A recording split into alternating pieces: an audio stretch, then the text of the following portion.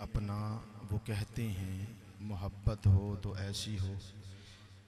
हमें रखते हैं नज़रों में इनायत हो तो ऐसी हो।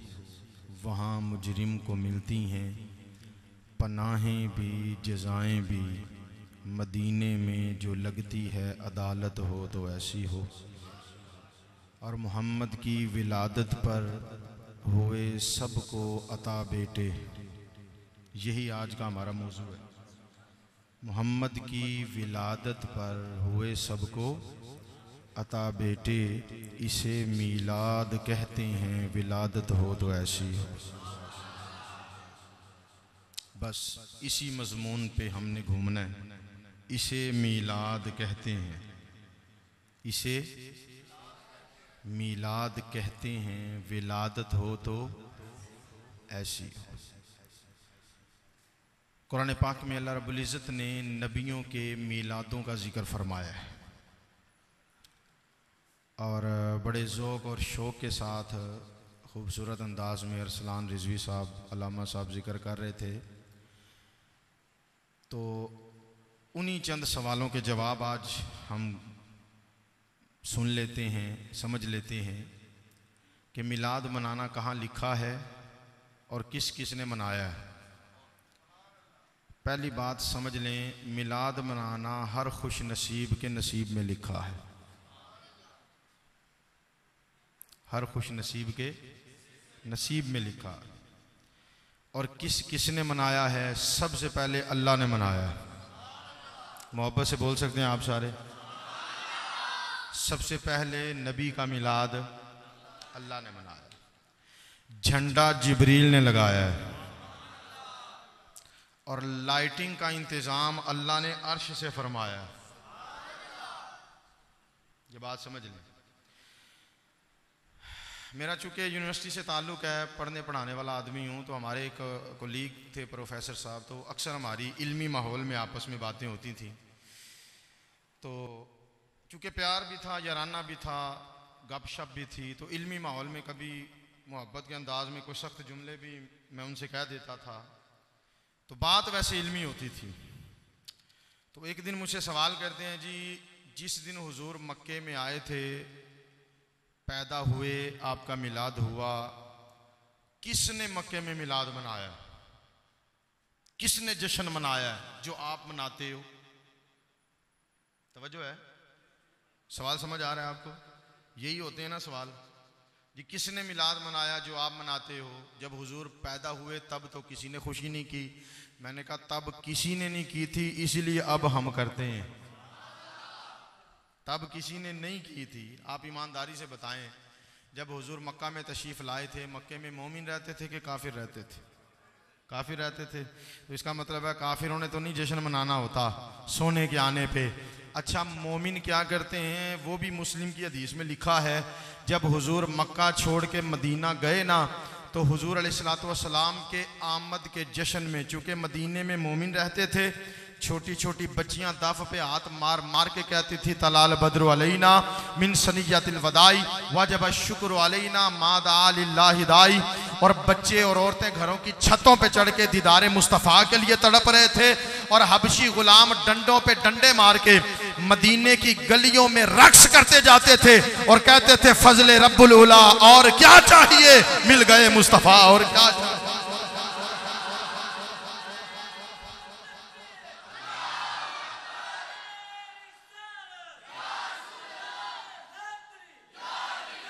भाई मक्के में जश्न इसलिए नहीं हुआ कि वहाँ काफिर रहते थे। और मदीने में जहाँ आशिक रहते थे, उन्होंने कसर कोई नहीं छोड़ी। मोहब्बत से बोले सारे सुबहान अल्लाह जहाँ काफिर रहते थे, वहाँ जश्न नहीं हुआ। जहाँ आशिक रहते थे, वहाँ कमी। अच्छा अल खसाइसुल कुबरा पढ़े जी। इमाम जलालुद्दीन सियूती कहते हैं, फरमाते हैं, तीन झंडे, सईदा आमीना फरमाते हैं, हजूर की अम्मा जान। मिलाद तो वो है जो माँ ने खुद बताया है। हज़रत आमीना सलाम फरमाती हैं। फरमाती हैं, मैंने तीन झंडे देखे। इमाम सयूदी फरमाते हैं, अल्लाह ने जिबरील को तीन झंडे दिए। एक मशरक में लगा, एक मगरिब में लगा, एक काबे की छत पे लगा। ये झंडे थे मिलाद के। ईमानदारी से बताइएगा, पाकिस्तान की अमारत पे कभी इंडिया का झंडा नहीं देखा होगा। इंडिया की सरकारी बिल्डिंग पे कभी पाकिस्तान का झंडा नहीं देखा होगा। इतना तो पता चल गया, झंडा उसी का होता है जिसकी हुकूमत होती है, जिसकी पावर होती है। रब ने कहा, जिबरील महबूब के नाम का एक झंडा मशरक में लगा, एक मगरिब में लगा, एक काबे की छत पे लगा। दुनिया को पता चले मका तो ला मका कर हुकूमत मुस्तफ़ा दी।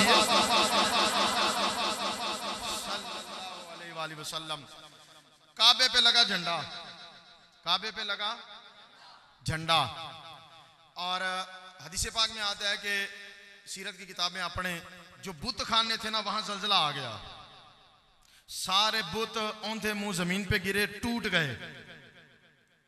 काबे पे लगा झंडा, बुतों, बुत खाने आए जलजले। मैं फिर दोहरा रहा हूँ बात को। जुमला जाया ना कीजिएगा।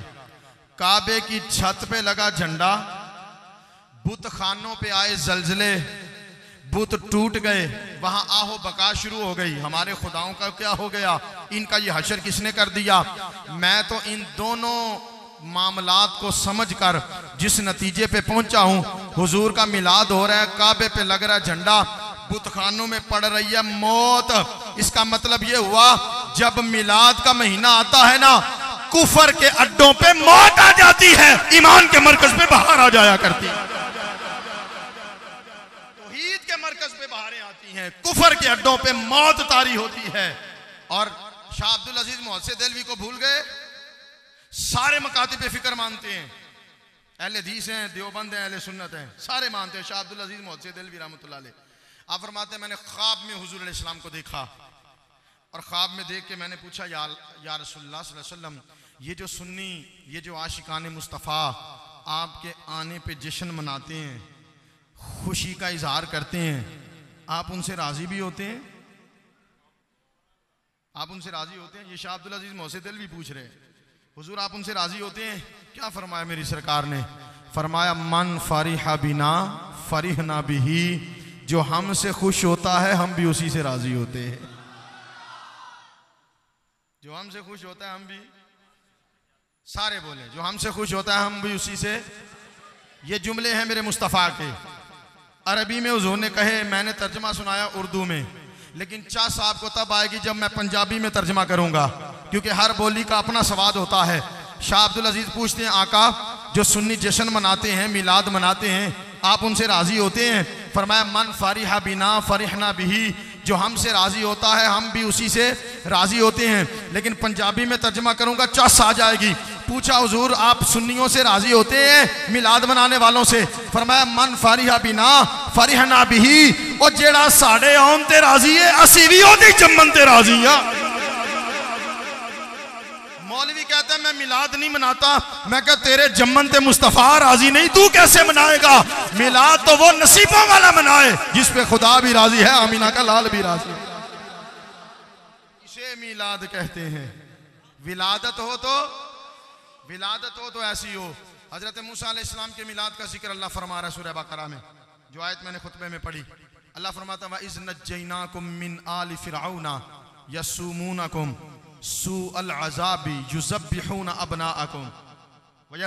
निसाअकुम ए बनी इसराइल, याद करो, जब आले फिरौन तुम्हें बड़ा सख्त अजाब देते थे, तुम्हारे बेटों को ज़बा करते थे, बेटियों को ज़िंदा छोड़ते थे, बेटों को ज़बा करते थे बेटियों को ज़िंदा छोड़ते थे, बेटों को जबा करते थे। नजूमियों ने बताया था, तेरी सल्तनत में एक बच्चा आने वाला है, जो तेरी सल्तनत का सत्यानाश करके रख देगा।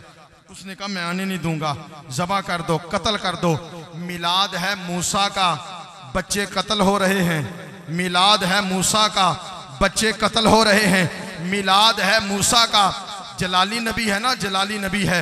नबी का जो मिजाज होता है, अल्लाह उम्मत के साथ वैसा ही सलूक फरमाता है। जो जलाली पैगंबर है, उसकी उम्मत के साथ सलूक भी जलाली वाला हुआ। और जो जमाली पैगंबर है, हज़रत मूसा का मिलाद है, बच्चे सबा होते हैं। मोहम्मद का मिलाद है, अल्लाह माओ को बेटे अता फरमा रहा है। अल्लाह बेटे तकसीम कर रहा है। मोहम्मद की विलादत पर हुए सबको अता बेटे, इसे मिलाद कहते हैं। विलादत हो तो हज़रत मूसा सलाम को अल्लाह रब्बुल इज़्ज़त ने फ़िरौन के सितम से बचाया। अम्मा जी ने गोद में उठाया। दाइयाँ जो थीं, उन्होंने पैगाम पहुँचाया माल में कि यहाँ भी एक बच्चा आया है। सिपाहियों को रवाना करता है फिरौन। अल्लाह के नबी की वालिदा, हज़रत मूसा की अम्मा जान। आप जल्दी जल्दी में ना घबराहट में, बच्चे को बचाने के चक्कर में, तंदूर में रख के ऊपर कपड़ा डाल दिया। जब सिपाही आए, सारे घर का तलाशी ली, वापस चले गए। जब बहन से कहने लगी, ऐसे मूसा की बहन से, अपनी बेटी से कहने लगी कि जाओ अपने भाई को तंदूर से निकाल लाओ। कहा, अम्मा कहाँ रखा? कहा तंदूर में? कहा, अभी तो मैंने वहाँ आग जलाई थी। अब माँ घबराई, दौड़ती हुई गई। अब जैसे ही वो तंदूर से कपड़ा हटाया, अल्लाह का नबी आग से खेल रहा था। मोहब्बत से बोलेंगे सारे? अल्लाह का नबी आग से, अल्लाह का नबी आग से खेल रहा था। अच्छा ये आग से खेलने वाला नबी जब फिरौन के दरबार में पहुँचता है, फिरौन गोद में उठाता है और अल्लाह का नबी एक हाथ रखता है दाढ़ी में और दूसरा हाथ रख के लगाता है उसके चेहरे पे तीन चार दिन की उम्र है। फिरौन कहता है, लगता है ये वही है। लगता है ये वही है। आसिया कहती है, नहीं, ये नॉर्मल आम बच्चा है। कहा, नहीं नहीं, हाथ तगड़ा है। भाई, ये वो हाथ है जो इसराइल का डेला निकाल के रख दे। हुजूर फरमाते हैं इसराइल आया था। हुजूर, चलो, तैयारी पकड़ो। नबी को आ गया जलाल। रख के लगाया। हाथ में वो लेके ना आँख रब की बारगाह में पहुँचता है। कहता है, अल्लाह फरमाता है, वो जान ले आया है।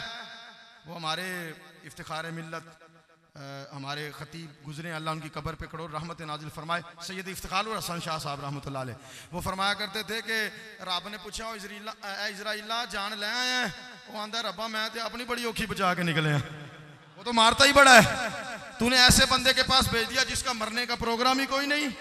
अल्लाह ने फरमाया, क्या कहा था? या मैंने कहा था कि चलो तैयारी करो, आ गया हूँ मैं। फरमाया, बंदा बंदा देख के तड़ियाँ लगाया कर, वो हमारा प्यारा है। हर किसी को मौत की तड़ी ना लगा। आँख रखी वापस, आँख रखी वापस। कहा, बैल की पुश्त पे नबी को कह, हाथ फेरे, जितने बाल नीचे आएँगे, मैं उतने साल ज़िंदगी बढ़ा दूँगा। इसराइल दोबारा आता है। कहता है, हुजूर, अल्लाह कहता है, बैल की पुश्त पे हाथ फेरो, इतने साल ज़िंदगी मिल जाएगी। फरमाया, जब वो पूरी हो गई, तब क्या होगा? कहा, मैं फिर आ जाऊँगा। कहा तूने फिर ही आना, चलो अभी चलते मुल्ला रूमी मसनवी में लिखते हैं और कमाल लिखते हैं। जितना बड़ा बंदा होता है ना, उसकी बात में वज़न भी उतना तगड़ा होता है। आप फरमाते हैं इसराइल जब ले के चलने लगा, हाथ जोड़े, कहा, जान की अमान पाऊँ तो कुछ अर्ज़ करूँ? मूसा ने कहा हाँ बोल। इसराइल कहने लगा, अगर जाना ही था तो पहले थप्पड़ क्यों मारा?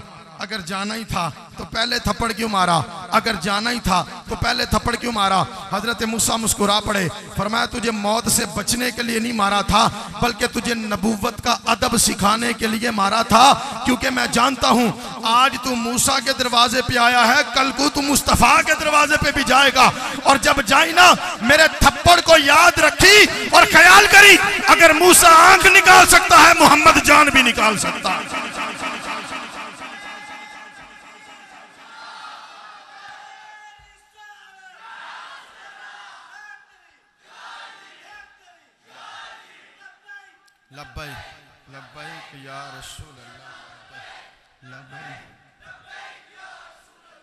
नबी ने नबी ने रख के मारा फिरौन के चेहरे पे। कहा, ये वही है। फिरौन कहता है ये वही है जिससे मैंने बचना है। आशिया कहती है नहीं, वो नहीं है, तू तू तजर्बा कर ले। नॉर्मल बच्चा है। एक तरफ़ आग का अंगारा रखा, शोला, और दूसरी तरफ़ फूल रखा। जो नॉर्मल बच्चा उसने कहा, जी, वो चमकती हुई चीज़ की तरफ़ अट्रैक्टिव होता है। तो अगर ये खास बच्चा हुआ तो ये फूल पे हाथ रखेगा अंगारे को छोड़ देगा। और अगर ये नॉर्मल बच्चा हुआ तो ये चमकती चीज़ की तरफ़ अट्रैक्टिव होगा। अल्लाह के नबी को नीचे बिठाया। अच्छा नबी है। वो समझ रहा है बच्चा है। ताजदार बरेली की बारगाह में आके किसी ने कहा था असबीयु सबीजुन लौकाना नबीजुन कहा नब, बच्चा बच्चा होता है। चाहे नबी क्यों ना हो। आपने फरमाया नहीं। जुमला ये है, अन नबी नबीयु नबीजुन लौकाना सबीजुन नबी नबी होता है, चाहे बच्चा क्यों ना हो। अब नबी को नीचे बिठाया, एक तरफ़ अंगारा रखा, एक तरफ़ वो फूल रखा। अल्लाह के नबी चले हैं। चलते चलते आपने फूल पे हाथ रखना चाहा। अल्लाह के हुक्म से जिबरील ने हाथ पकड़ा, अंगारे पे रख दिया। अंगारा हाथ में लिया लेके मुँह में रखा। ज़ुबान जल गई। ज़ुबान जल गई। फिर बड़ा खुश हुआ, तालियाँ मारे। उसने कहा, ये वो नहीं है। ये आम बच्चा है, ये वो, क्योंकि ज़ुबान जल गई इसकी, ये वो नहीं है। अच्छा फिर उठ के घर चला गया। बीबी आसिया उठी। हज़रत मूसा का माथा चूमा। कहा, कितना बेवकूफ़ है फिर वो कहता है, ज़ुबान जल गई, ये वो नहीं है। ये देखता ही नहीं, हाथ तो जला ही नहीं है। जिसकी ज़ुबान जल गई, ज़ुबान जलना देख रहा है, हाथ जलना नहीं देख रहा। अब मैं आपसे मुखातिब हूँ, ईमानदारी से बताइएगा, मूसा कायनात में कितने थे? बोलिए, एक थे, सारे बोलो, कितने मूसा थे? एक एक मूसा, एक ही वजूद है मूसा का। एक बंदा ज़ुबान देखता है, कहता है, वो नहीं है। एक हाथ देखता है, कहता है, वही है। वो उसने ज़ुबान देखी, दूसरे ने हाथ देखा। उसने कहा, वो नहीं। उसने कहा, वही है। था मूसा एक ही। खुदा की कसम, जिस तरह मूसा कायनात में एक था ना, इसी तरह मुस्तफ़ा भी कायनात में एक है। मुनाफिकों को और नज़र आता है, आशिकों को और नज़र आता है।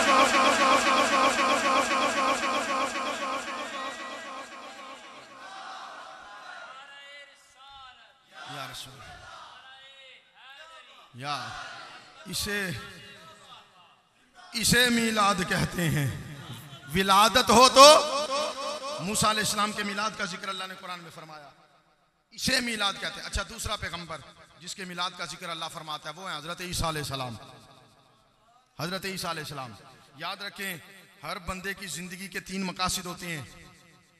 हर नॉर्मल इंसान के तीन मकासद। एक तो अपना घर बार बनाना है। जितने भी किराए के मकान में रहते हैं, उनकी ख्वाहिश होती है, अल्लाह तोफीक दे, अपनी छत नसीब हो। अल्लाह सबको तोफीक अता फरमाए।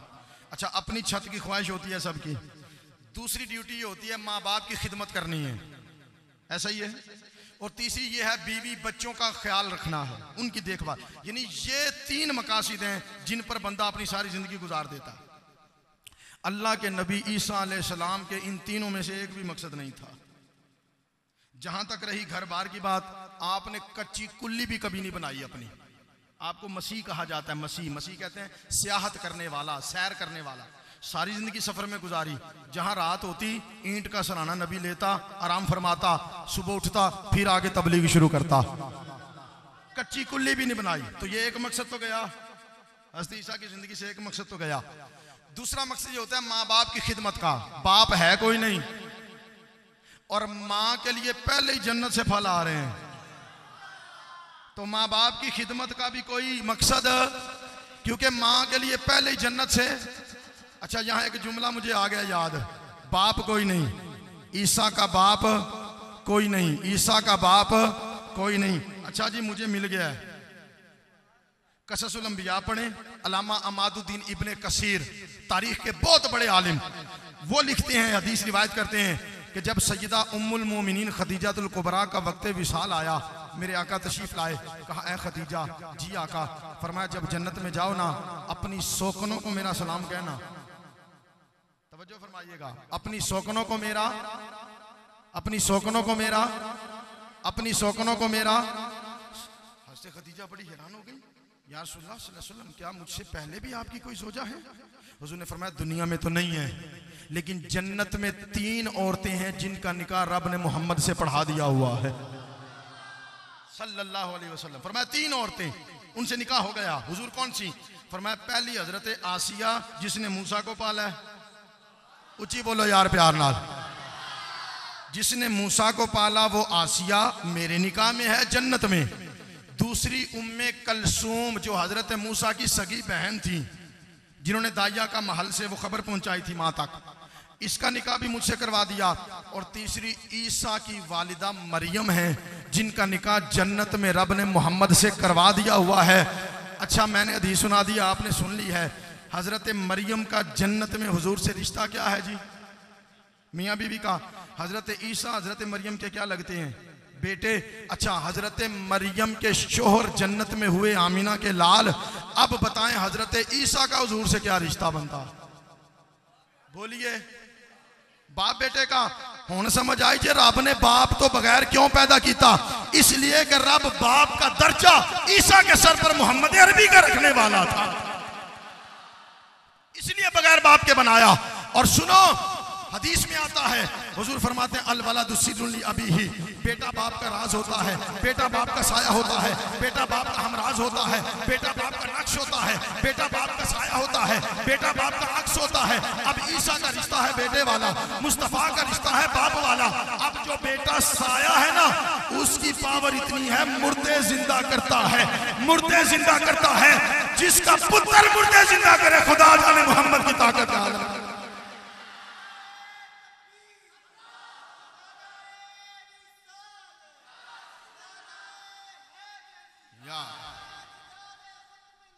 जिंदाबाद। बगैर बगैर बाप के अल्लाह ने पैदा फरमाया, माँ के पत्नी अथार से। तवज्जो है मेरी बात पे? इधर देख रहे हैं मेरी तरफ़।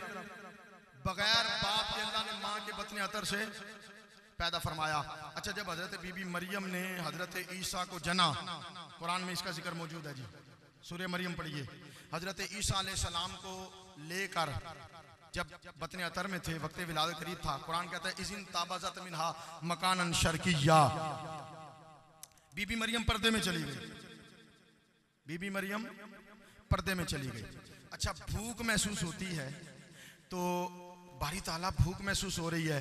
फरमाया, ये दरख्त खुश्क था, इसके साथ टेक लगाओ, अभी ताज़ा खजूरें गिरेंगी।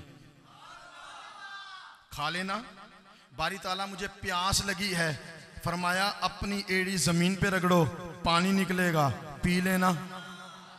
ये मिलाद हो रहा है नबी का। कहा, ईसा का मिलाद है, ईसा का मिलाद है, खजूर खाओ दुनिया की, ईसा का मिलाद है पानी पियो, ज़मीन का ज़मीन का ज़मीन का। मदारिज नबुआ में शेख अब्दुल आकम दलवी फरमाते हैं, जब मुस्तफ़ा का वक्त विलादत करीब आया ना सजदा आमीना को प्यास महसूस हुई, अल्लाह ने जिबील को जन्नती नहर का दूध का प्याला दे के भेजा। कहा, ईसा का मिलाद है, पानी ज़मीन से पीता है, और मोहम्मद का मिलाद है, जन्नत से दूध का प्याला है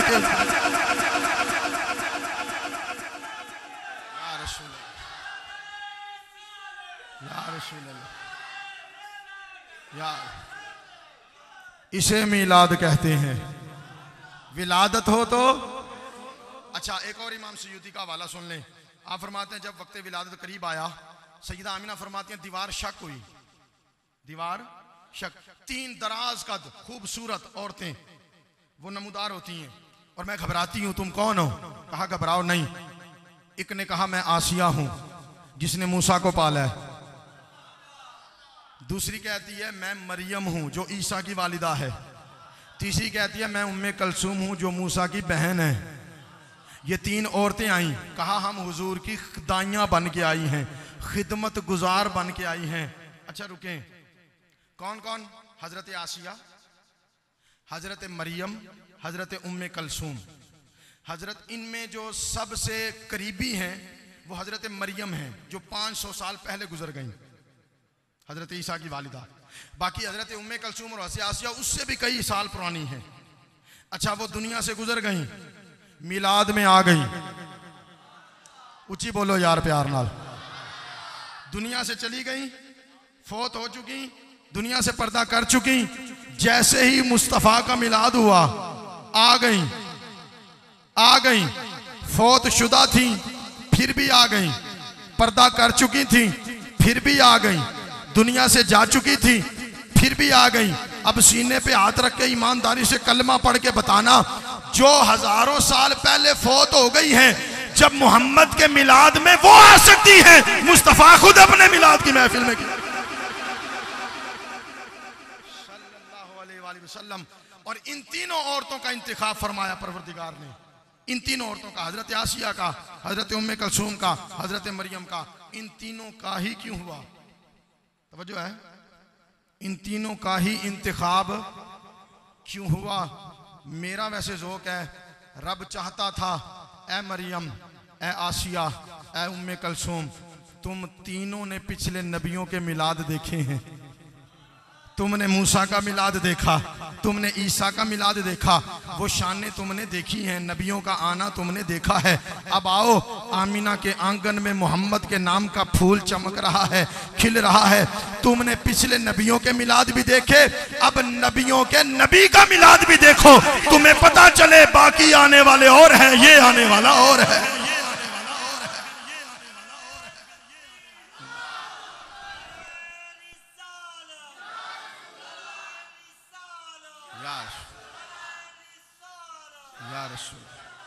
इसे मीलाद कहते हैं। विलादत हो तो इसे मीलाद कहते हैं। विलादत हो तो काबे में झंडे लगते हैं। अल्लाह सितारों को ज़मीन की तरफ़ झुकाता है और मशरक के जानवर मगरिब पे और मगरिब के जानवर मशरक की तरफ़ भागते हैं। एक दूसरे को मुबारकें देते हैं कि आमीना का लाल आ रहा है। आमीना का लाल आ रहा है। आमीना का लाल आ रहा है। रब खुशियों का समा पैदा फरमा रहा है। सारा निज़ाम कायनात अपने मुस्तफ़ा पे बदल रहा। हमारे यहाँ ट्रैफ़िक का कानून बदल जाता है। कोई वज़ीर गुजरने वाला हो ना तो ट्रैफ़िक का सारा सिस्टम चेंज हो जाता है। नाके लग जाते हैं। और यहाँ तो कायनात का बादशाह आ रहा है। अल्लाह ने सारा निज़ाम कायनात बदला है।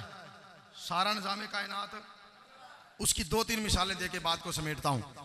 पहला निज़ाम क्या बदला? ये आपके सामने जो दीवार है, मस्जिद की, ये पत्थरों की दीवार है।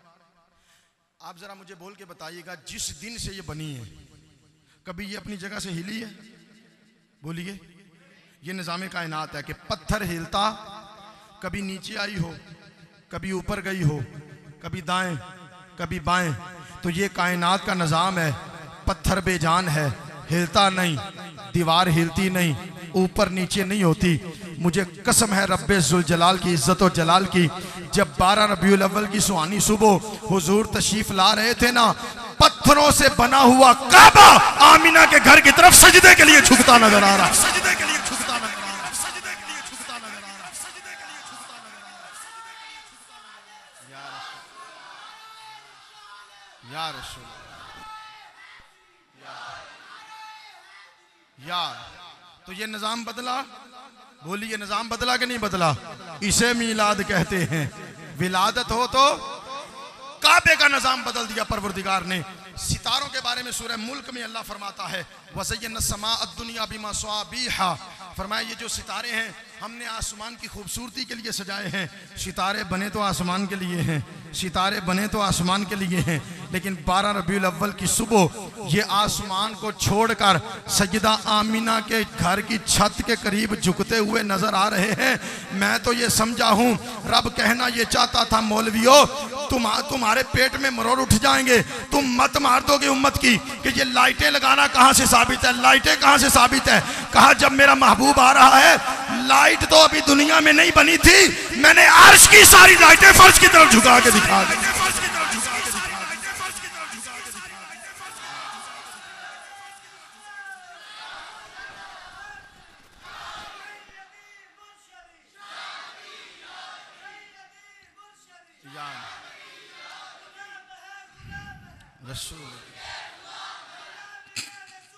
मौत भी अल्लाह अल्लाह आपको सलामत रखे। जी इसे मिलाद कहते हैं।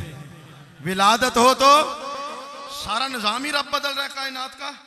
फरमाया, पहले उसूल देखता था, अब रसूल देखता हूँ। पहले असूल की बात होती थी, अब रसूल की बात होती है।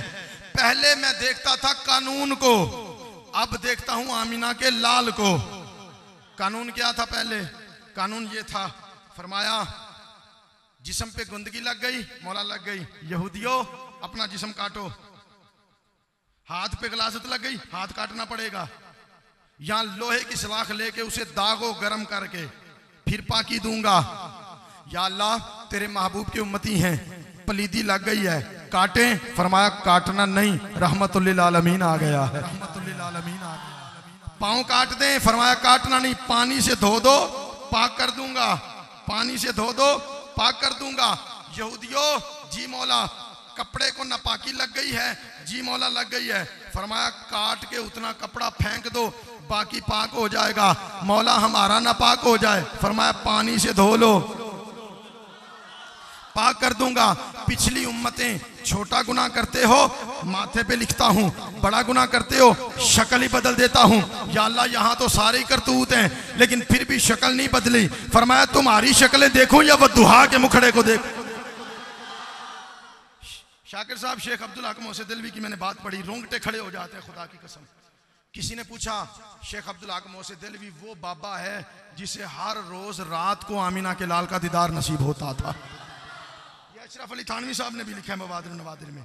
वो कहते हैं, हर रात हुजूर का दीदार पाते थे शेख अब्दुल हक मोहसे दिलवी उनसे किसी ने पूछा, हुजूर ये बताएँ, पिछली उम्मतों पे अजाब आता था, इस उम्मत पे क्यों नहीं आता? फरमाया, तुम्हें किसने कह दिया, नहीं आता। अजाब आता है। अजाब दिल के कानों से सुनने वाली बात है। कहते हैं, अजाब आता है। कहा, फिर शक्ल तो नहीं बदली। फरमाया, अजाब आता है गुंबद खजरा को दे के वापस लौट जाता के वापस लौट आता है हमारे गुनाहों की वजह से। लेकिन महबूब के रोज़े को देखता है तो फिर वापस अच्छा महबूब के होते भी आया था। जब ताइफ की वादी में लगे पत्थर, जिबरील आया, कहा यार वसल्लम, अल्लाह फरमाता है, अगर आप हाँ कहें, दोनों पहाड़ पीस दूँ, इनको तबाह करके रख दूँ। हुजूर ने फरमाया, नहीं, हम रहमत बन के आए हैं, हम रहमत बन के आए हैं, इसे मिलाद कहते हैं। विलादत हो तो अच्छा यहाँ रुके। वो जितने बंदे थे पत्थर मारने वाले, कौन थे? सारे बोलिए, कौन थे? काफिर थे। पत्थर मारे। अच्छा बंदे किसके थे? अल्लाह के।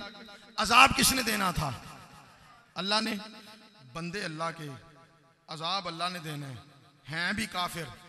पूछ महबूब से रहा है। पूछ कमली वाले से रहा है, महबूब, आप कहो। महबूब, आप कहो, अजाब भेज दूँ। आप कहो, अजाब भेज दूँ। आप कहो, अजाब भेज दूँ। बंदे उसके अजाब उसने देना। नाफरमान है, काफिर हैं।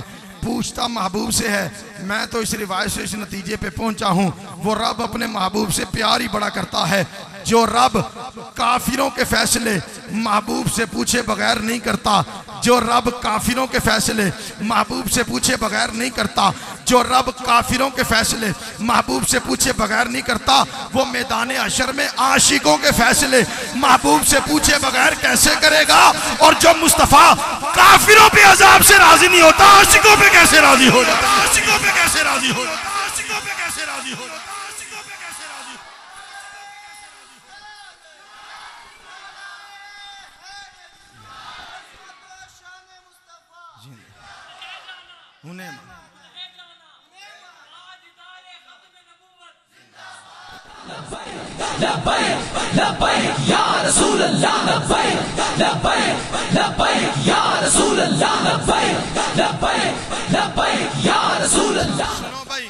मिलाद मनाने से काफिरों को भी फ़ायदा होता है। मिलाद मनाने से, बोलिए, सियासिता की हदीस अर्ज़ कर रहा हूँ। हज़रत अब्बास इब्ने अब्दुल मुत्तलिब, हुजूर के चचा जान। आप फरमाते मैंने ख्वाब में अबू लहब को देखा। अबू लहब दुश्मन रसूल है, पूरी सूरत उसकी मुजम्मत में उतरी है। ख्वाब में देखा और मैंने कहा, क्या हाल है तेरा? उसने कहा, बड़ा ही माड़ा हाल है। जब से तुमसे पिछड़ा हूँ, कभी खैर नहीं मिली, लेकिन जब पीर का दिन आता है, जब पीर का दिन आता है, इस मेरी शहादत की उंगली से एक दूध की नहर जारी होती है। मैं उसे चूसता हूँ। मेरे अजाब में थोड़ा सा मुझे सुकून मिलता है। हर पीर को हुआ क्या था, हुआ क्या था? हुआ ये था कि पीर का दिन था, जब हज़रत आमिना के आँगन में हुजूर के नाम का फूल खिला था। अबू लहब की लौंडी थी सवैबा उसने आके मुबारक दी थी। मुबारक हो अबू लहब, तेरे मरहूम भाई के हाँ बेटा आया है, भतीजा पैदा हुआ है। और अरब में दस्तूर ये था कि जब कोई गुलाम खुशी की खबर सुनाता था, उसे आज़ाद कर दिया जाता था। जब भतीजे की खबर सुनी, दुश्मन रसूल था, उंगली से किया, कहा, जा तू आज़ाद है। अब इस उंगली से इशारा करके उसे आज़ाद किया, मुस्तफ़ा के आने की खुशी में, मिलाद की खुशी में भतीजा समझकर खुशी से उंगली को हिलाया, लोंडी को आज़ाद किया। उस उंगली ने हर पीर को फैज दिया, हर पीर को अजाब से सुकून दिया।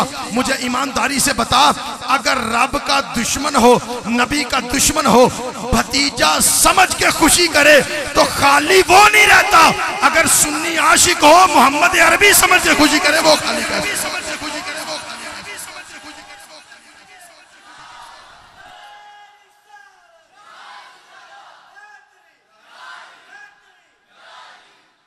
इसे मिलाद कहते हैं। विलादत हो तो विलादत हो तो विलादत हो तो विलादत हो तो कायनात में ऐसा मिलाद किसी का नहीं हुआ, जैसा मिलाद आमिना के लाल का हुआ है। झंडे लग रहे हैं, सितारे झुक रहे हैं, काबा सजदे कर रहा है, पत्थर सलामियाँ कर रहे हैं। नबी आके हज़रत आमिना को मुबारकें दे रहे हैं। दाइयाँ आ रही हैं, फौज शुदगान, खवातीन आ रही हैं हुजूर की खिदमत के लिए। और हुजूर इस्लाम दुनिया में तशरीफ़ लाए। नाफ बुरीदा, खतना शुदा, आँखों में कुदरती सुरमा लगा हुआ, खुशबुओं में लिपटे और रब्बी हबली उम्मती की दुआएँ मांगते मेरा नबी आया। नबी आया। रब्बी हबली रब्बी हबली रब्बी हबली उम्मती। इसका तर्जमा बाज लोग करते हैं, मेरी उम्मत को बख्श दे। हालाँकि बख्शिश का लफ्ज ही नहीं है हदीस में। अगर बख्शिश की दुआ होती ना जी तो हुजूर कहते रब्बी गफिरली उम्मती। या मेरी उम्मत की बख्शिश फरमा दे। नहीं, फरमाया, रब्बी हाबली। या मेरी उम्मत को मेरे ही हवाले कर दे। मेरी उम्मत को मेरे ही हवाले कर दे। बख्शिश की दुआ नहीं, तुम मेरे ही हवाले कर दे, मैं जानू। और मेरी उम्मत जाने, क्योंकि कायनात में रहमतुल्लिल आलमीन बन के आमीना का लाल आया। और रहमतुल्लिल आलमीन, एक जान के लिए नहीं, दुनिया में भी कब्र में भी, हशर में भी, हुजूर हमें दुनिया में बड़ा खतरा है, अजाब का। फरमाया, घबराओ नहीं, हमारा रोज़ा इसी में रहेगा। हम दुनिया में ही रहेंगे। इदरीस ने जन्नत देखी, उम्मत भूल गई। मेरे नबी ने खाली के जन्नत देखा, वहाँ भी उम्मत को याद किया। फिर वापस आए और इधर ही रोज़ा बना। फरमाया, महबूब, जब तक आप इनमें रहते हैं, अजाब नहीं आएगा। जब तक आप इनमें रहते हैं, अजाब नहीं आएगा। यार रसूलल्लाह, हमें तो कबर का बड़ा खौफ है। फरमाया, घबराओ नहीं, रब का कहना है, जब तक मैं तुम में हूँ, अजाब नहीं आएगा। तुम कब्र में उतरोगे, फरिश्ते हिसाब लेने बाद में आएँगे, मदीने से मेरी सवारी पहले पहुँच जाएगी यही वजह है, यही वजह, मुझे हुक्म हुआ, मैं ये जुमला भी अर्ज़ कर दूँ। यही वजह है कि फरिश्तों ने कब्र में जब रब के बारे में पूछना है तो गायबाना सवाल है, मन रब्बू का, तेरा रब कौन है? माँ दीनू का, तेरा दीन क्या है? लेकिन जब बारी आनी है ना आमीना के लाल के बारे में, जलवा होगा सामने। जलवा होगा सामने। फरिश्ते पूछेंगे, माँ कुन तकूल फ़ी की हाजी राजुल मोहम्मद बता इनके बारे में क्या कहा करता था। अब अपने मुकद्दर पे रोएगा वो, जो कहता था कि मर के मिट्टी हो गए माजल्ला दीवार के पीछे का पता नहीं, हम जैसे बशर हैं। ये मुँह लेके बताएगा वहाँ जवाब कि मैं ये कहा करता था। जी सुबहान अल्लाह इमाम बुखारी ने, सही बुखारी में सिर्फ़ एक सवाल का ज़िक्र किया है। वो कहते हैं, रब दीन के बारे में पूछा ही नहीं जाना, सिर्फ़ पूछना ही कमली वाले के बारे में। बता क्या कहा करता था। बड़े बड़े मुल्ले मुलवाने सर पकड़ के बैठ जाएँगे, जो कहते रहे, मर के मिट्टी हो गए, मिलाद कहाँ लिखा है? सियाबा ने नहीं किया, फुलाने ने किया, फुलाने ने किया, फुलाने ने किया। मुझे मौलवी कहता है, सियाबा ने नहीं किया, सियाबा, मैं कह, रोता है तू सियाबा को? सियाबा ने नहीं किया। जो कुछ सियाबा करते रहे, तेरी माँ मर जाए, तुझसे मुमकिन ही कोई नहीं है। जो कुछ सियाबा करते रहे जो कुछ सियाबा करते रहे, किसी माई ने लाल पैदा ही नहीं किया आज के दौर में कि वो वैसा जश्न मना सके जैसा अमीना के लाल के सियाबा ने मना के दिखाया। पूछा जाएगा, तू क्या कहा करता था? क्या कहा करता था? और मैं तो बड़ी चस लेता हूँ इस हदीस की। अगर आपका जोक हो तो सुना दूँ आपको। मैं इस हदीस की बड़ी चस लेता हूँ, शाकर साहब, जहाँ भी बयान करता हूँ। यार, क्या मंजर होगा जब यही सवाल फरिश्तों ने पीर मेहर अली से पूछा होगा? साहब बताइए, क्या कहा करते थे? तो पीर साहब ने तो कहा होगा मुस्कुरा के, फरिश्तों क्या पूछते हो? मैं तो कहता था ये सूरत नू मैं जान आखा जान आखा के जाने जहान आखा, सच आखा के रब दी मैं शान आखा, जिस शान तो शाना सब बनिया, मुख चंद, बदर शाशानी है। मथे चमके, लाट नुरानी है। काली जुल्फ ते अख मस्तानी है। मखमूर अखीन मदबरियाँ। लुत्फ का समा होगा यार। जब यही सवाल फरिश्तों ने हज़रत हसान इबन साबित से पूछा होगा, सियाबी रसूल बताइए, क्या कहा करते थे? तो सियाबी रसूल ने झूम के कहा होगा, मैं तो सोने के सामने खड़ा होकर कहता था वह अहसन उमिन कलम तरकत तो नहीं वह अजमल उमिन कलम तली दिन निसाऊ खुलिकता मुबर्रा अमिन कुल्ली आईबिन का अन्ना का कद खुलिकता कमात शाऊ क्या अच्छा साई होगी। जब यही सवाल फरिश्तों ने मोहम्मद अली जहूरी से किया होगा। जोहरी साहब बताओ, क्या कहा करते थे? तो जोहरी साहब ने तो झूम के पढ़ा होगा। मैं तो कहता था, असी की जहूरी, नाले साडा की बयान है। ओ दियाँ ते सिफतां दा, नात खां कुरान है। सूरतां सिपारे, रंग नबी दे जमाल दा। लब के ले आवा किथों सोना तेरे नाल दा। लुत्फ होगा। जब यही सवाल फरिश्तों ने गाजी मुमताज़ हुसैन कादरी से किया होगा, गाजी साहब बताइए, क्या कहा करते थे? तो गाजी मुमताज़ ने तड़प के कहा होगा, मैं तो कहता था, या रसूल अल्लाह तेरे चाहने वालों की खैर, सब गुलामों का भला हो, सब करे तहबा की सैर। यार, चस नहीं आई होगी। जब यही सवाल फरिश्तों ने बाबा खादम हुसैन रिजवी से पूछा होगा, बाबा जी बताइए, क्या कहा करते थे? तो बाबे ने तो जलाल में पढ़ा होगा, मैं तो कहता था, इन्हें जाना, इन्हें माना, न रखा गैर से काम। लिल्लाहिल मैं दुनिया से मुसलमान गया। लुत्फ आ जाएगा। जब ये सवाल सुन्नी मिलाद मनाने वाले से किया जाएगा। बता क्या कहता था? तो सुन्नी तो हाथ बाँध के खड़ा हो जाएगा। फरिश्तों, मैं तो हर जुम्मे को कहता था, मुस्तफ़ा जाने रहमत।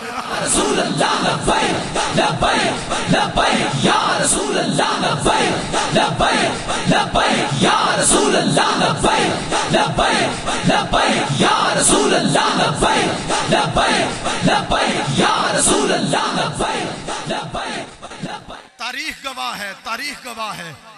हर इंसान का ज़िक्र होता है उसके आने के बाद। तवज्जो है?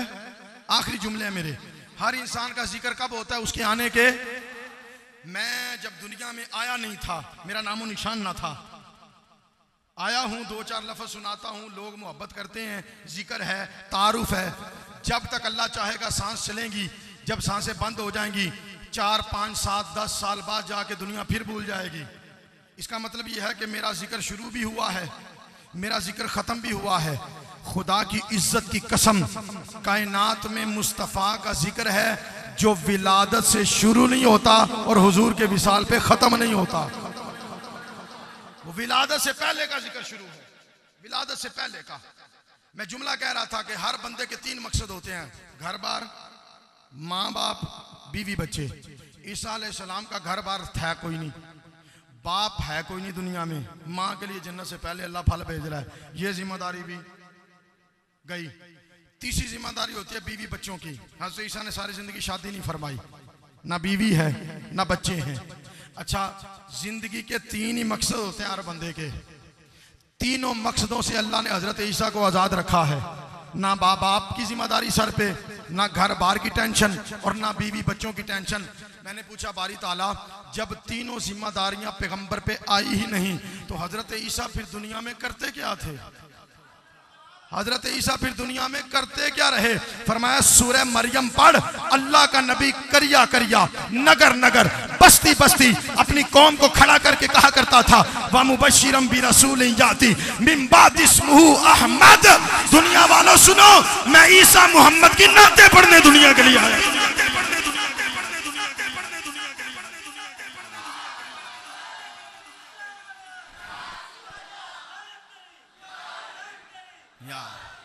इसे मिलाद कहते हैं। विलादत हो तो सारे बोलिए विलादत हो तो सारी कायनात का निज़ाम रब ने बदला अपने महबूब के आने पर। पत्थरों का निज़ाम बदला, दरख्तों को चलना आ गया, पत्थरों को कलमा पढ़ना आ गया, जानवरों को सजदा रेज होना आ गया, सितारों को झुकना आ गया, काबे को सजदे करना आ गया। और हुजूर से पहले एक कायनात का निज़ाम और है, जो पहले सदा से चल रहा था। हुजूर पे रब ने तब्दील फरमा दिया। उस पर मेरी बात ख़त्म। आदम सलाम से लेके ईसा सलाम तक, हर नबी की उम्मत के लिए एक असूल था। एक असूल था कि जो करते हो, वो भरते हो। जो करोगे, वो भरोगे। कब्र में भी, दुनिया में भी, हशर में भी। पीछे किसी रहने वाले का अमल, आगे जाने वाले के काम नहीं आएगा। इधर बारह रबील अव्वल का नूर चमका है। रब ने कहा, सोना, तेरी उम्मत पे ये कानून भी हम बदलते हैं। बारी ताला कैसे? फरमाया, दुआएँ पिछले मांगते जाएँगे बख्शी शक्लों की फरमाता जाऊँगा।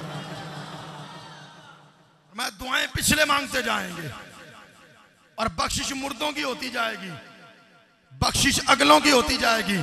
और तीसरा उसूल जो रब ने बदला अपने महबूब पर, फरमाया, पिछली उम्मतें हैं गुनाह करती हैं, मौके पे पकड़ता हूँ। गुनाह करते हैं, शक्लें बदलता हूँ।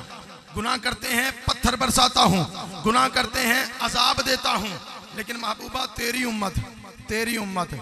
अच्छा मैं कुरान से एक मिसाल दे देता हूँ, चलो। सूर्य बकरा में है, जब हज़रत मूसा इस्लाम को हेतूर से वापस आते हैं, कौम बछड़े की पूजा में मुलवस पाई गई, शिरक में मुबतला हो गई। अल्लाह के नबी आए, कहा, मैं रब को देख के, मैं रब को सुन के आया हूँ। मैं रब को सुन के आया हूँ। मैं रब को सुन के आया हूँ। कौम ने कहा लन्नुमिन लका हत्ता नरल्लाह जहरा। हम तब तक आपकी बात नहीं मानेंगे जब तक हम रब को देख नहीं लेते। आप जुमलों की नजाकत पे गौर कीजिएगा, कितनी हट दरम कौम है। नबी को सीधी हो गई। नबी कहता है, मैंने रब सुना है। उम्मत कहती है, हमें दिखाओ।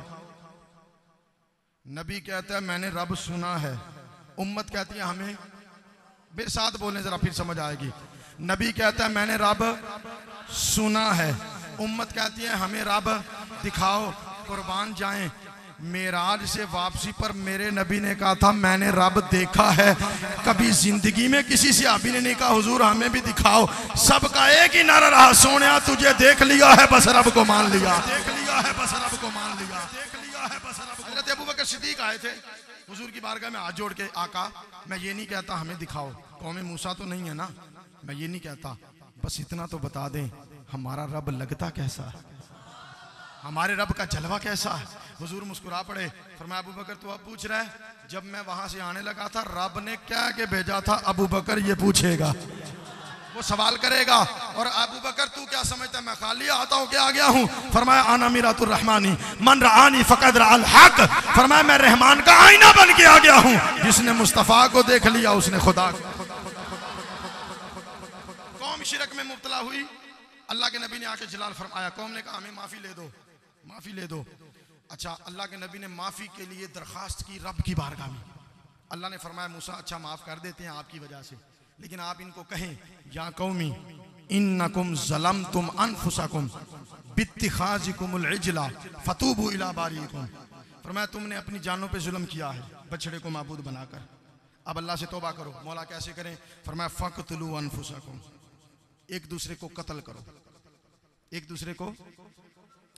वो बड़ा करीम है जी। वो सजा दे के भी माफ़ कर दे, ये भी उसका फजल है। वो सजा दे के भी कह देना, मैंने माफ़ कर दिया तो ये भी करम है उसका। और ये करम हुआ यहूदियों पे। हसे मूसा की कौम पे। फरमाया, तुमने जानों पे जुल्म किए, मौला किए। फरमाया, कत्ल करो एक दूसरे को। माफ़ी फिर दूँगा। मूसा के उम्मती होना। जलाली नबी की उम्मत होना। जलाल दिखाऊँगा। फरमाया, जानों पे जुल्म किया, मौला किया। फरमाया, कत्ल करो, फिर माफ़ करूँगा। जानों पे जुल्म करते हो, एक दूसरे को कत्ल करो, फिर माफ़ करूँगा। जानों पे जुलम करते हो, एक दूसरे को कत्ल करो, फिर माफ़ करूँगा।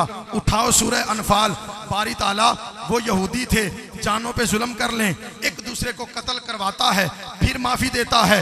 अगर उम्मत मोहम्मदिया के मुसलमान जानों पे जुल्म कर लें तो फिर क्या करें? फरमाया, वलहु अन्नहुम इज्जलमु अनफुसहुम जाऊ का फस्तगफरुल्लाह वस्तगफर लहुम रसूल, लवजदुल्लाह तव्वाबर रहीमा। फरमाया, चिल्ले वजीफे करने की लोड़ नहीं, जानों पे जुल्म कर बैठे हो, मेरे महबूब के रोज़े पे आ जाओ, सारे गुनाह माफ़ फरमा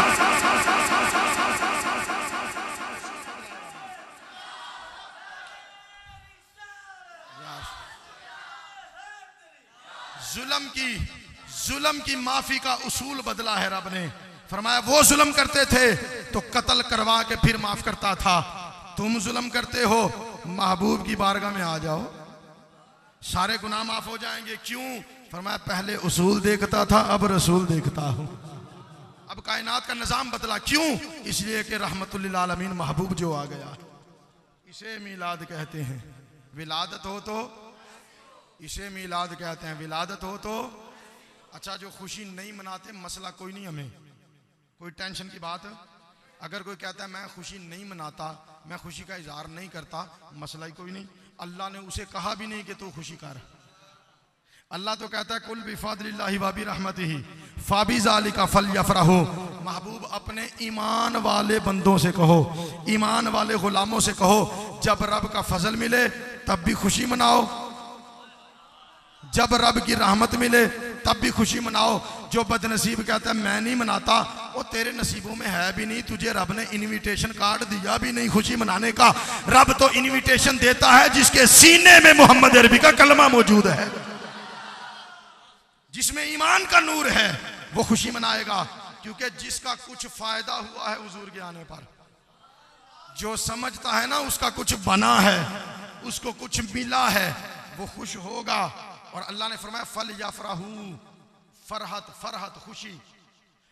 खुशी का एक दर्जा होता है मुसरत एक होता है फरहत। यहाँ अल्लाह ने ये नहीं फरमाया कि मुसरत करो। यहाँ फरमाया, फरहत करो। फल याफराहू, खुशी मनाओ। क्या फ़र्क है मुसरत और फ़रहत में? मुसरत और फरहत में फ़र्क यह है। मुसरत का माना भी खुशी, फ़रहत का माना भी खुशी। मुसरत क्या है? मिसाल के तौर पे आप में से किसी शख्स को कोई मेरे साथ मोहब्बत करता है। तो मैं उसे कहूँ जी मेरा बच्चा क्लास में फ़र्स्ट पोजीशन लेके पास हुआ है। तो वो जो मेरा जानने वाला है, मेरा दोस्त है, उसके दिल में जो हल्की सी खुशी पैदा होगी ना, मेरे बच्चे के पास होने पर उसे कहते हैं मुसरत वो खुशी का इजहार भी करेगा, मुबारक भी देगा। लेकिन अगर उसे घर से फ़ोन आए कि तेरा अपना बच्चा पहली पोजीशन से पास हुआ है, उस वक्त जो कैफियत होगी, उसे कहते हैं फरहत। उसे क्या कहते हैं? मुसरत यहाँ हो सकती है, यहाँ। लेकिन फरहत यहाँ से निकला करती है, यहाँ से। रब ने यह नहीं कहा कि सामने सामन से खुशी वाला मुँह बनाओ। फरमाया, नहीं, जब फजल और रहमत मिले और आमिना के लाल के आने की खुशखबरी मिले तो शक्लों पे, चेहरे पे मुस्कुराहट नहीं, दिल से खुशी का इजहार होना चाहिए।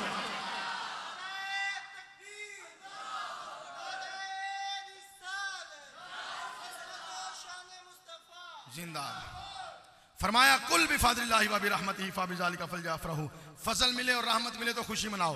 कितनी चीज़ें मिले? दो, फजल, नंबर दो, बोलिए, सारे बोले, फजल। अच्छा ये तो कुरान से पता चल गया, फजल मिले तो भी खुशी करनी है, रहमत मिले तो भी खुशी करनी है। अब कुरान से ही पूछ लेते हैं, फजल कौन है? और कुरान से ही पूछ लेते हैं, रहमत कौन है?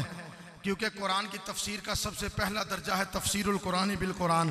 कुरान की एक आयत की तफसीर दूसरी आयत से करना। अब एक आयत कहती है, फजल मिले तो खुशी करो, रहमत मिले तो खुशी करो, उठाइए कुरान। अल्लाह इरशाद फरमाता है वबशरिल मोमिनीना भी फदलन कबीरा। महबूब ईमान वालों को खुशखबरी सुना दो। मैंने अपना रसूल भेज के उन पर बहुत बड़ा फजल कर दिया। अल्लाह कहता है, फजल मिले तो खुशी मनाओ। अल्लाह कहता है, फजल मुस्तफ़ा है।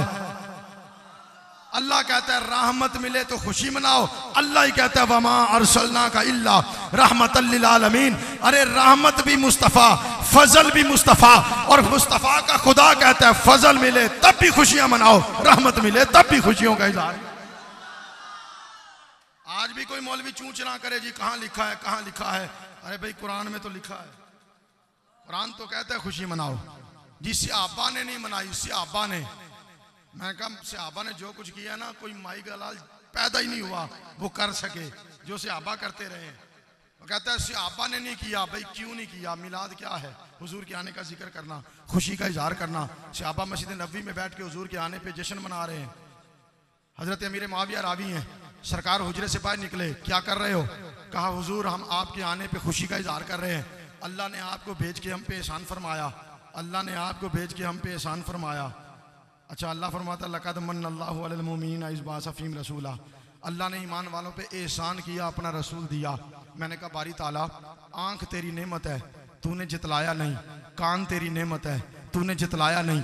लिबास तेरी नेमत है, तूने जितलाया नहीं। गाड़ी तेरी नेमत है, तूने जितलाया नहीं। रिस्क तेरी नेमत है, तूने जितलाया नहीं। कायनात की इतनी नेमतें दे दे कर तू कहता है, कुलू व शराबू हनिया मरिया, खाओ, पियो, मौज करो, तू जतलाता नहीं। ये कैसी नेमत तूने दे दी?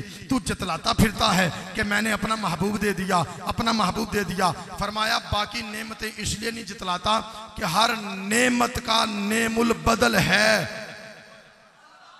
हर नेमत का नेमुल बदल, लिबास नेमत है। फट जाएगा, मैं और दे दूँगा। गाड़ी नेमत है, खराब हो जाएगी, मैं और दे सकता हूँ। रिस्क नेमत है, कम हो जाएगा, मैं और पैदा कर दूँगा। फरमाया, हर नेमत मेरे खजाने में मौजूद है, नेमुल बदल है, अगली खत्म, मैं और दूँ, अगली खत्म, मैं और दूँ। लेकिन मुस्तफ़ा, तेरे रब की इतनी बड़ी नेमत है, रब के खजाने में भी दूसरा मोहम्मद है ही कोई नहीं। इसलिए फरमाया, मैं एहसान जतला रहा हूँ। कि तूने अप, तुम्हें अपने खजाने की जो सबसे कीमती नेमत थी मोहम्मद अरबी की सूरत में मैंने वो अता फरमा दिया। सल्लल्लाहु अलैहि वसल्लम। सहाबा कहते हैं हुजूर हम खुश हो रहे हैं कि आप आए हैं। हम शुक्र कर रहे हैं और इस्लाम की हिदायत पर हम अल्लाह का शुक्र अदा कर रहे हैं। हुजूर ने फरमाया कसम उठाते हो इसी काम के लिए बैठे हो? कहा हुजूर उठाते हैं। फरमाया कसम इसलिए नहीं मांगी कि मुझे शक है तुम्हारी बात पे। अभी अभी जिबरील आया था। उसने आके बताया, सोना आपके सहाबा मस्जिद में बैठ के जो काम कर रहे हैं ना, उनके इस काम की वजह से अल्लाह अर्श के फरिश्तों के सामने फख्र फरमा रहा हदीस ना हो तो जो चोर की सजा, वो मेरी सजा। मिंबर की कसम उठा के कहता हूँ, अल्लाह के घर में बैठा हूँ। हदीस के अल्फाज हैं, सियासता के। अब सियाबा मस्जिद नबी में बैठ के क्या कर रहे थे? हुजूर के आने का ज़िक्र। और मिलाद किसे कहते हैं?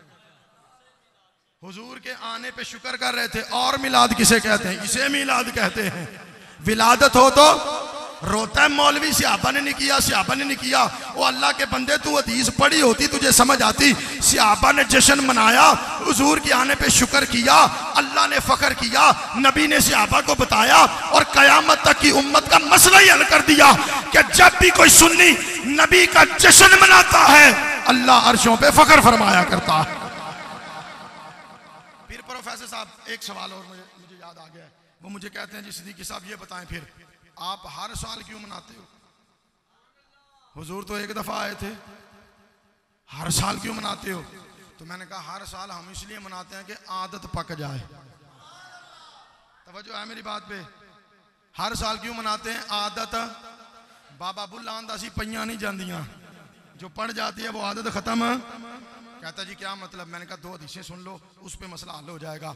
हुजूर इस्लाम ने इरशाद फरमाया, जब भी नींद से उठो, अल्लाह अकबर, अल्हम्दुलिल्लाह, ये पढ़ा करो। अल्हम्दुलिल्लाह आबाद बाकायदा दुआ तालीम फरमाई हुजूर ने। फरमाया, अल्लाह का नाम लो। हुजूर, वजह। फरमाया, तुम्हारी आदत पकी होगी, जब भी आँख खुले, रब का नाम लो। जब भी आँख खुले, रब का नाम लो।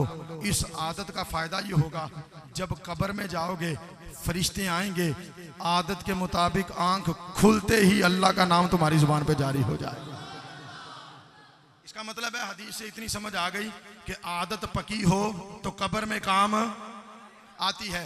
दूसरा मेरे आका फरमाते जब भी लेन देन करना हो किसी से तो दाएँ हाथ से करो। दाएँ हाथ से, हुजूर, वजह। फरमाया आदत पकी होगी। दाएँ हाथ आगे करने की। जब मिजान अमल पे अल्लाह नामा अमाल पकड़ाने लगेगा, आदत के मुताबिक तुम्हारा दाहना हाथ ही आगे हो जाएगा। इसका मतलब है दो दिशे तो मैंने पढ़ दी जी। आदत पकी हो, कब्र में काम आती है। आदत पकी हो, हशर में काम आती है। आपने गौर ही नहीं फरमाया। आदत पकी हो, कब्र में काम आती है। आदत पकी हो, हशर में काम आती है। मियाँ, आदत पकी हो, कब्र में काम आती है। आदत पकी हो, हशर में काम आती है। मैंने कहा, हम सुन्नी पागल नहीं, दीवाने नहीं, मजनून नहीं। हम हर साल आमद मुस्तफ़ा के नारे इसलिए लगाते हैं ताकि हमारी आदत पक जाए हशर के मैदान में। जब आमीना का लाल आएगा, सुन्नी आदत के मुताबिक वहाँ भी नारे लगाने शुरू कर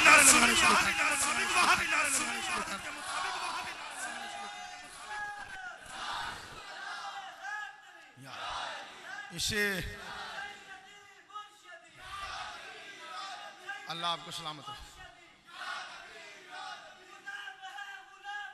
रसूल के।